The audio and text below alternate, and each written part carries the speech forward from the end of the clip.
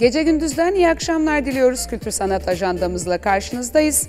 Sevgili seyircilerimiz Türk tiyatrosunun mihenk taşlarından Yıldız Kenter'in hayatını anlatan Caniko belgeseli için geri sayım devam ediyor ve Yıldız Kenter'e bir saygı duruşu niteliği taşıyan Yıldız'ın Yıldızları isimli konserin de hazırlıkları sürüyor. Öyleyse gelecek hafta ajandamızın ilk maddelerinden biri olacak Caniko belgeseline dair notlarla başlayalım.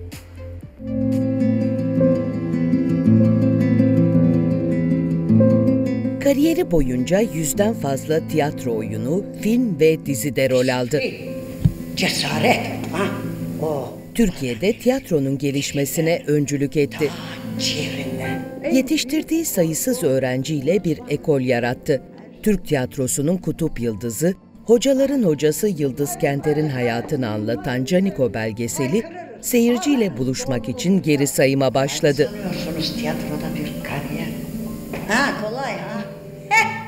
Yıldız Kenter'in kişiliğini, hayata ve tiyatroya bıraktığı izleri odak noktasına alan, aynı sahneyi paylaştığı oyuncuların, aile fertlerinin ve öğrencilerinin tanıklıklarına başvurulan belgesel, 20 Haziran'da Enka Açık Hava Tiyatrosu'nda izleyiciyle buluşacak. Sahneye her an fırlayacakmış gibi. Biz oyunu oynarken müdahale ettiği çok vardı. Yüksek! Yıldız Hoca yukarıdan bağırmaya başladı. Meriç! Profesör Doktor Dikmen Gürü'nün danışmanlığını üstlendiği belgeselin yönetmen koltuğunda Selçuk Metin oturuyor. Senaryosunu Zeynep Miraç'ın kaleme aldığı, müziklerini Murat Evgin'in hazırladığı belgeseli Ayça Bingöl seslendiriyor. Hıçkırarak ağlıyor. Bir şey diyecek bana gözüyle. Gözüyle kendisi şu cümleyi kurdu. Nerede kaldınız? Ali Poyrazoğlu, Demet Akbağ, Erdal Özyağcılar, Genco Erkal, Göksel Kortay, Haldun Dormen, İzzet Günay, Tilbe Saran, belgeselde görüş veren isimlerden sadece birkaçı.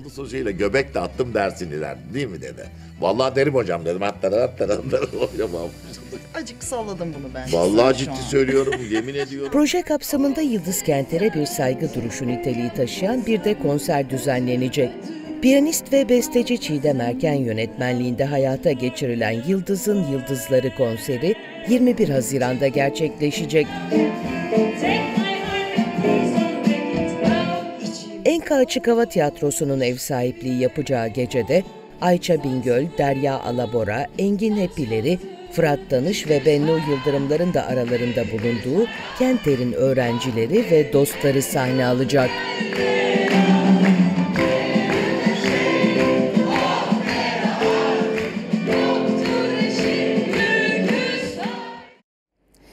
İş Bankası'nın çocuklara küçük yaşlardan itibaren okuma alışkanlığı kazandırmak amacıyla yürüttüğü 2007-2008 eğitim öğretim yılında başlayan Karneni Göster Kitabını Al kampanyası bu yıl 15. kez gerçekleşiyor. 14 yılda 14 milyonu aşkın kitabın çocuklarla buluşturulduğu kampanyada bu yıl Arthur Conan Doyle'ın kaleme aldığı Sherlock Holmes'un maceralarıyla Francis Hodgson Burnett'ın yazdığı okuyucuyu gizemli bir maceraya sürükleyen Gizli Bahçe adlı eserler sunuluyor. Öğrenciler bugün İş Kuleleri altındaki İş Bankası şubesinde karnelerini göstererek kitaplarını aldı. Bugünden itibaren İş Bankası şubelerine giden tüm öğrenciler aynı şekilde karnelerini gösterip kitaplarını alabilirler. Ayrıca her kitabı Kumbara Dergisi portalı üzerinden ve Kumbara Dergisi uygulamasını indirerek mobil cihazlardan da okuyabilirler.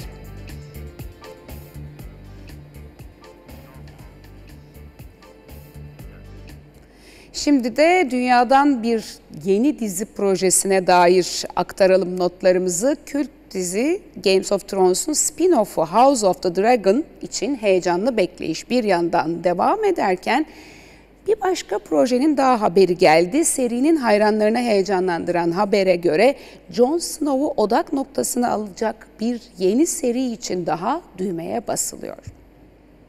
You stand in the presence of the mother of dragons.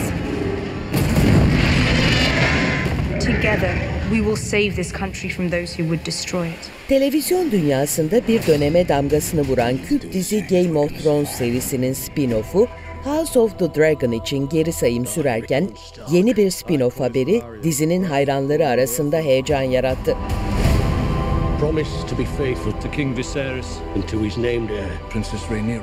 The Hollywood Reporter'ın haberine göre Jon Snow'u odak noktasına alacak bir seri için daha düğmeye resmen basıldı.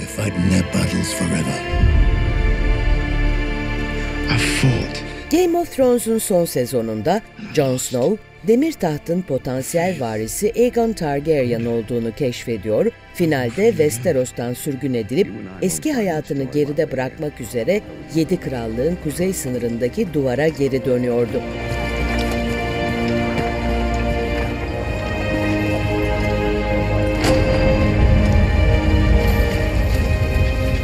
Gelen haberlere göre karakterin öyküsü kaldığı yerden devam edecek ve Kit Harington kendisine iki Emmy adaylığı getiren role dönüş yapacak.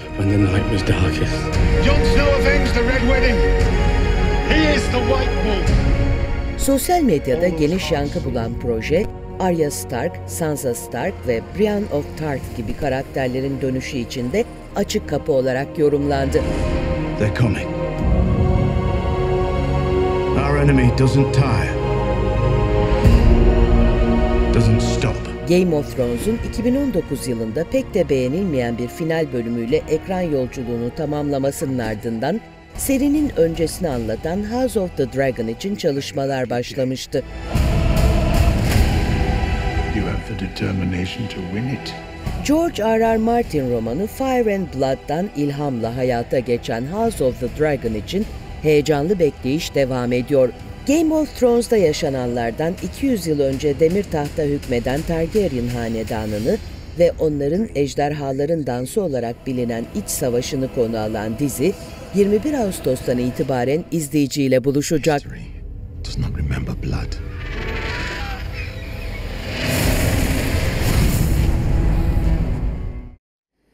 Foça'da uzun yıllar yaşamış ressam Ferruh Başağa ve ressam Avni Arbaş adına düzenlenen Bodrum Art Sanat Festivali devam ediyor.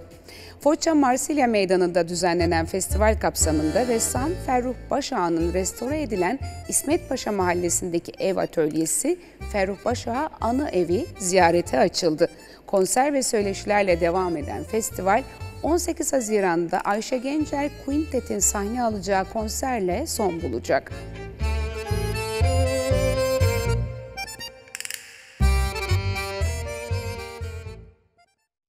Bugün Cuma hafta sonu geldi. O zaman e, vizyona çıkan yerli ve yabancı filmlere de bir bakalım. To visit planet Earth, you'll have to be born as a human child. At first, you'll have to learn to use your new body, to move your arms and legs. Mike Mills'in yazıp yönettiği Yaşamaya Bakın oyuncu kadrosunda Oscar'lı aktör Joaquin Phoenix yer alıyor. Make sounds and form words. There will be so much for you to learn, and so much for you to feel. Sadness, Radyo muhabiri olan Johnny'nin bir süreliğine bipolar kardeşinin çocuğuna bakmak zorunda olması sonrasında yaşananları anlatan filmde Phoenix'e başrolde Woody Norman eşlik ediyor. You're crying. no, I'm not. Yes, you are. You're definitely crying. I'm the bad man. Have been for a long time. That's three people likely killed with the same weapon. What's that? Found him on the floor. Your shooter's losing his mind. Oyuncu kadrosunda Liam Neeson, Guy Pearce ve Monica Bellucci'yi buluşturan geçmişe dönüş Martin Campbell imzasını taşıyor. No. Call the contract off. I don't hurt children, ever. Film, kiralık suikastçı Alex'in emekli olmadan karşı karşıya kaldığı son göreviyle ilgili yaşadıklarını mercek altına alıyor. We all have to die. What's important is what you do before you go.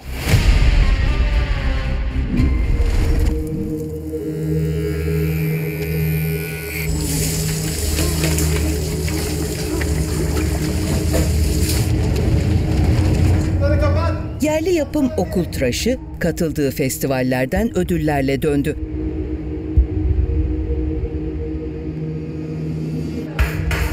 Allah'ımıza hamdolsun.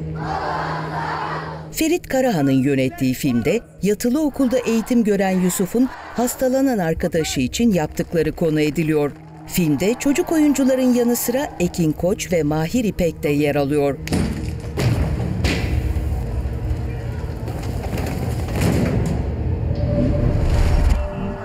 Pretty sure we've never seen this. He thinks they need help.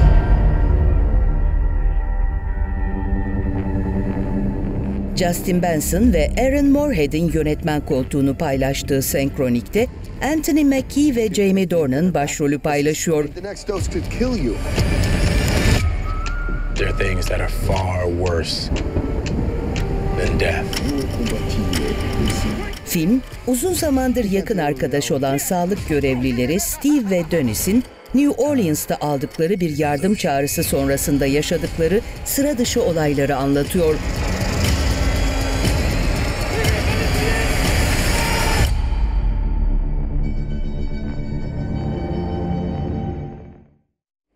Ajandamızdaki diğer başlıklardan bir de haber turu geliyor şimdi ekrana.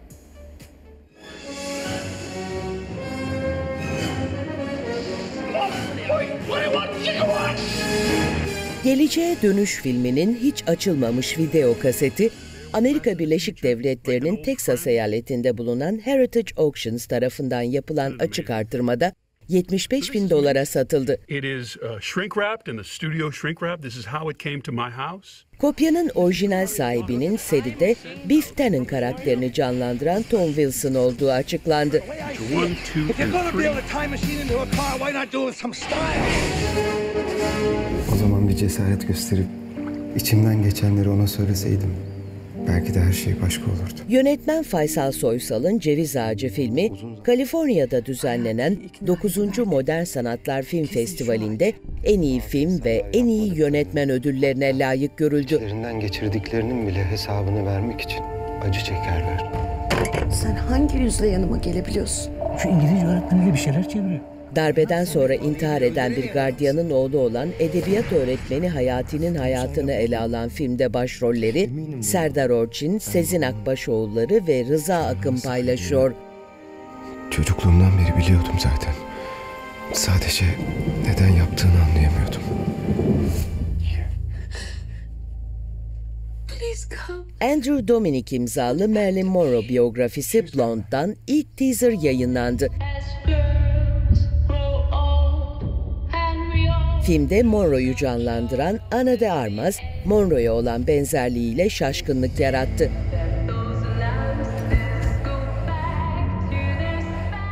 Monroe'nun altın çağında yani 1950'li ve 1960'lı yıllarda geçen film, özellikle ikonik yıldızın iç dünyasına odaklanmayı hedefliyor.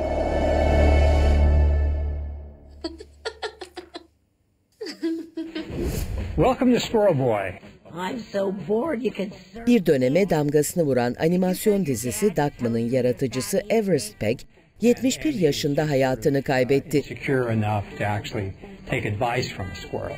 Peck, 1990'da Dark House Comics'ten çıkan Duckman çizgi romanıyla dikkatleri üzerine çekmişti.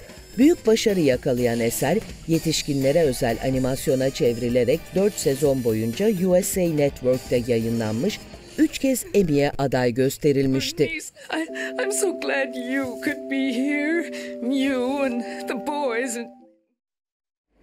Ve kitaba ayırdığımız bölümle kapatıyoruz her cuma olduğu gibi. Bu hafta geçtiğimiz günlerde geçirdiği kalp krizi nedeniyle hayata veda eden yazar ve şair Mevlana İdris Zengin'i konuştuk. Bu sohbetle sizleri baş başa bırakıyoruz. Yeni haftada görüşmek dileğiyle. Hoşçakalın.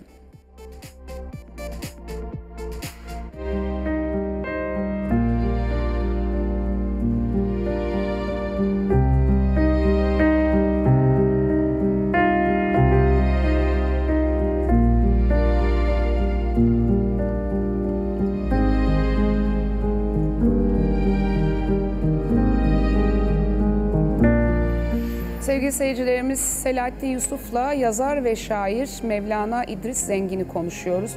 Ne yazık ki kısa bir süre önce kaybettik ve e, kalp rahatsızlığı nedeniyle hayata veda ettiği açıklandı. Hayli genç elbette e, kaybın genci yaşlısı olmuyor ama 1966 doğumluymuş. E, dolayısıyla biraz da ani bir ölüm Evet. demek gerekecek herhalde. E, senin de e, yakının olduğunu biliyorum. O yüzden hem başın sağ olsun, başımız sağ olsun diyeyim. Hepimizin Öyle bırakayım olsun. sözü Evet, sana önce. ederim. Hepimizin başı sağ olsun. Mevlana İdris arkadaşımızdı. Çok yakın arkadaşımızdı. Yaşı benden biraz daha büyük. Ee, her şeyden önce orijinal bir insanı kaybettik. Yani edebiyatı, sanatı, müziği bir tarafa bırakalım. Ee, çok orijinal bir insandı gerçekten. Nevi şahsına münhasır birisiydi. Ben hep şöyle düşünüyorum. Sanki böyle çok eskilerden bir kervan geçerken onu İstanbul'da bırakmış geçmiş eski çağlarda. Öyle bir insandı rahmetli. Ee, çocuk edebiyatı ile ilgili büyük çabaları vardı. Fakat şöyle bir çocuk edebiyatı bu. Büyükler için aslında büyüklerin dünyasına çocukların dünyasını öneren bir edebiyat. Bütün hayatını neredeyse buna yatırmış gibiydi. Yani sosyal medya hesapları, şunlar bunlar, yazdıkları, şiirleri hepsi buna dönüktü sanki. Çok sayıda kitap kaleme almış Tabii, çocuk çok edebiyatı sayıda alanında. kitabı var. Aynı Ki zamanda Türkiye'de çok şair. kısıtlı bir alan biliyorsun aslında Çok zor bir alan galiba. Kısıtlı bir alan. İnsanlar çocuk edebiyatını niye önemsemez bilmiyorum. Şu anda bence Türkiye'de sen daha iyi bilirsin ama çocuklar daha çok okuyor, daha çok ilgileniyor yani büyüklerden falan. Ee, Mevlana İdris bütün dünyasını onların dünyasına adamış bir insandı. Çocuk Yayınları Danışma ve Yayın Kurulu üyeliği de. Birçok e, çocuk dergisi yapmış. de tek Evet. başına neredeyse. Mesela en son çıkardığı dergi Çeto'ydu. Çeto dergisinde bizim Efe'nin bile bir yazısı vardı. Benim oğlum 9 yaşında Efe. Onun bile bir yazısı vardı. Birlikte yazdığımız bir yazı vardı. Onu da şöyle keşfetmişti mesela. Instagram'da bir Efe'nin yanlış kelimelerini not ediyordum ben. Alt alta diziyordum falan. Efe'den bir yazı bekliyoruz dedi. Öyle hazırladık. Gönderdik. Bizim için de güzel bir hatıra oldu falan. Böyle şeylere çocukların Tabii. edebiyatla bağının oluşması için de e, bir büyük, büyük çaba harcıyordu çaba. gerçekten evet. E, ödüllü de bu konuda bildiğim kadarıyla Evet. değil mi? Çocuk Ee, edebiyatı konusunda önemli ödüllü, ödülleri var. Çok hem sayıda de- kitabı da çevrilmiş yabancı dile. Çok kitabı çevrildi. Evet çok önemli bir şey daha var. Mevlana İdris'le ilgili bana kalırsa mekanlarla e, özdeşleşen bir insandı. Mesela Eyüp'te, Fatih'te, efendim Boğaziçi'nin çeşitli yerlerinde, Çengelköy'e çok Sultanahmet'te gezmezdi ama oturuyor Sultanahmet rivayeti evet. var. Hep Tabii. aynı yerde mi oturulmuş? Evet, evet. Ee, Kızlar Arası Medresesi vardır Hı. divan yolunda. Ondan önce İlesan vardır, Küllük vardır. Hani bu eski eski e, şeylerin, yazar şairlerin, sanatçıların bir- birleşip oturduğu, buluşup oturduğu kahvehane kültürünün bir insanıydı. O yüzden başlangıçta e, eskiden kalmış birisi Hı. gibiydi Mevlana abi dedim. Gerçekten öyleydi. Mekanla kimse olmazsa Mevlana abi mutlaka olur orada. Çekirdek çitler birisiyle konuşur ama genelde susar. Genellikle gülümseyerek susar. Çok ilginç bir karakterdi Peki gerçekten. de. rahatsızlığı neydi? Yani Rahatsızlığı- kalp rahatsızlığı dolayısıyla vefat ettiğini söylüyoruz ama bu bir günde olan bir durum olmayabilir. Yok, hayır. Öncesinden gelen bir sağlık problemi var Ya mıydı? şöyle sürekli gülümsüyordu Mevlana abi. Herkes iyi olduğunu düşünüyordu doğal olarak. Hmm. Ama bu gülümseme tehlikeli bir şey aynı zamanda. Çünkü e, muhtemelen şöyle bir e, İran atasözü varmış. Yıllar önce bir arkadaşım söylemişti. Bir derdi olan ağlar, bin derdi olan güler diye. Galiba bin tane derdi vardı da o yüzden Belki gülümsüyordu. üzerine örtmek sürekli. için. Evet. Belki Evet, öyle bir hali vardı. şiirle bağı e, nasıl oluşmuş? Şiir şimdi çocuk edebiyatı apayrı bir alan ama aynı zamanda şair. Evet, şair. Hatta Şairliğine e, bir- dair, bir e, dizesiyle neler bilinen söylersin? eyvallah. Bir dizesiyle bilinen nadir şairlerden birisi. Hmm. Çünkü eski zamanda hani bir dizesiyle marufmuş ya şairler. Ee, mesela işte e, Orhan Veli bir dizesi. Orhan Veli deyince o dize kadar meşhurdur. Hatta bazen kart vizitlere şu mısranın bahaneyi derlermiş. Doğru, doğru. Dolayısıyla iyi geceler bayım. Hiç gittiniz mi? Bu dize Mevlana'nın kart viziti. Ben, Ee, ve e, dilden dile dolaştı tabii vefatından sonra. Ben de e, bir merhamet bin çiçek e, den Tabii. not almışım. Sabah uyanınca ne göreyim? Bayram gelmiş. Nereden geldiğini bilmiyorum ama önemsiz. Önemli olan nereye geldiği. Evet. Şimdi burada bir çocuk şeyi var. Humoru var dikkat edersen. Hmm. evet. Bir gözü çünkü Çocuksu sürekli bir yanı var. bir gözü dilinin. hep çocuklarda. Hep çocuklarda. Ee, ve e, bu ciddiyet, gündelik ciddiyet dediğimiz şeye asla metelik vermezdi. Bu ciddiyeti bir humorla, bir mizahla sürekli parçalamak isterdi. Sürekli parçalamak isterdi. İnsan kalbinin o kendiliğindenliği ortaya çıksın isterdi sanki. Böyle bir böyle bir çabası yoktu. Başka bir çabası yoktu yani Mevlana abinin rahmetli. Olağanüstü bir insandı. Allah rahmet eylesin. Büyük bir boşluk bıraktı. Yakınlarına da bir kez daha sevenlerine başsağlığı dileyelim. E, Böylece anmış olalım Evet. bir kez daha. Kitaplarıyla, eserleriyle yaşayacak elbette ki.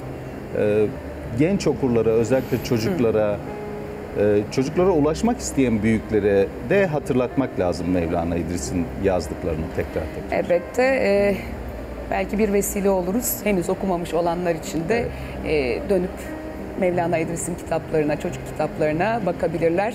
Biz iyi okumalar diyelim. Teşekkür ediyorum. Ben teşekkür ederim.